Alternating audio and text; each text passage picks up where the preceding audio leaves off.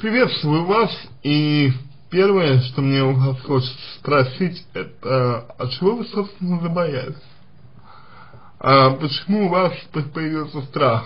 А, ведь э, молодой человек вам понравился, а, молодой человек вроде бы вам подходил, как я понял. А, вначале вы пишете, что он вам понравился, была симпатия, но вы забоялись. А, чего вы забоялись? Это вот самый э, главный вопрос, на который вам ответить, потому что, ну, вообще, совершенно непонятно, э, как бы, чего вы боитесь-то именно. Вот, вот по факту, э, чего вы боитесь. Потому что если есть страх, э, то страхом нужно бороться.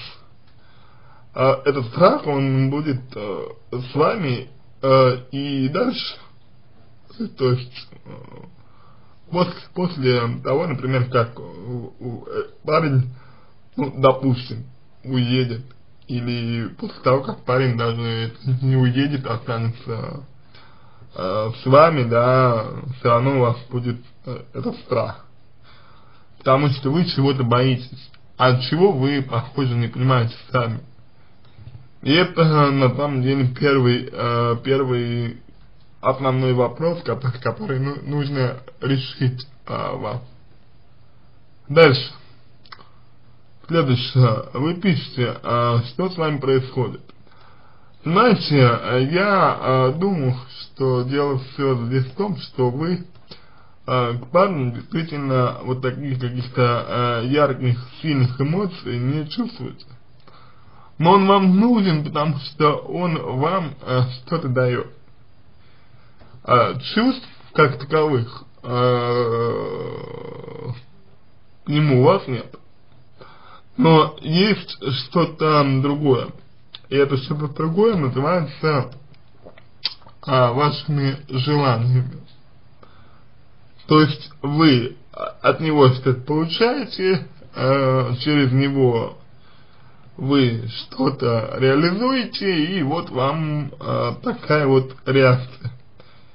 И когда мужчина, по сути дела, уезжает, вы понимаете, что теряете то, что вы получали от него, и из-за этого у вас начинается истерика.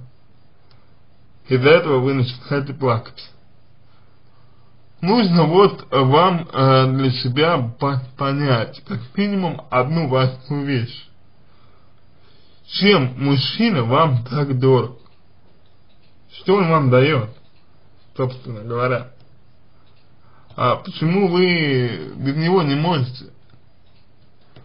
Ведь если у вас начинается истерика, значит вы что-то очень важное, ценное теряете а, с его уходом.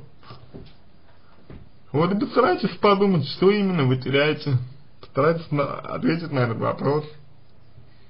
И тогда, я думаю, вам будет гораздо э, более понятно, о, о, чем идет речь. Чего именно вы хотите сами от него и от себя. И вот так, собственно, можно будет э, говорить о том, как вам и что делать дальше, куда двигаться, что делать дальше и так далее. А пока получается такая ситуация, что вы и вы его вроде бы как не отпускаете, а потому что вам нужен для чего-то. Вы его не отпускаете вроде как. Но при этом вы э, и не сближаетесь с ним из-за как, какой-то вот причины. А, я пока не очень хорошо понимаю эту причину, потому что, как я уже сказал, а, нужно разобраться с тем, чего вы боитесь. Потому что вот непонятно пока, чего именно вы боитесь.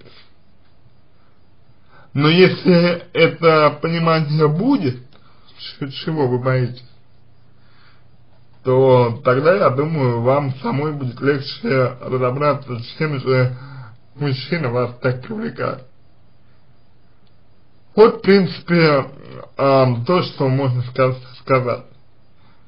То есть говорить однозначно, что у вас там, например, э, там есть э, чувство собственничества, я бы не стал, как вот э, мой коллега.